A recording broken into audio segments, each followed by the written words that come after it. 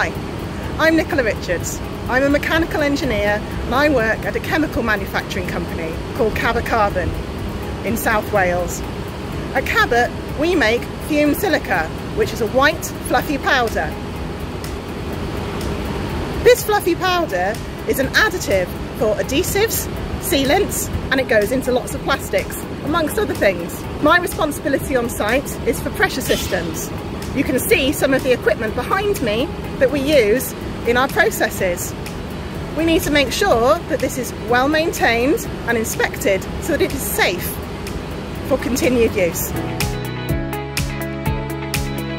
When I was in secondary school, I loved maths and science, but I didn't know which one to choose when I went to university. So I chose mechanical engineering, as that was a good combination of them both.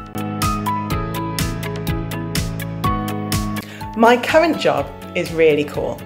Part of the time, I feel like I'm a detective, working out why equipment has failed and how we can fix it and what we need to do to make sure it doesn't fail again in the same way.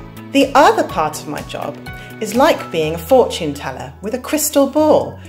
This is when I lead a team of engineers and we analyse what could go wrong with a process. We make sure there are enough equipment and instrumentation to keep the process safe. Don't be afraid to try new things, accept challenges, and don't give up.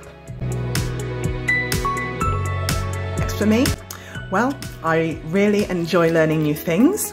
Um, I've been working at Cabot for 15 years um, but I still learn something new every day and that's why I really enjoy the challenges of my current role. I'm really looking forward to being part of the STEMazing sessions and hope to inspire some young people into the world of engineering.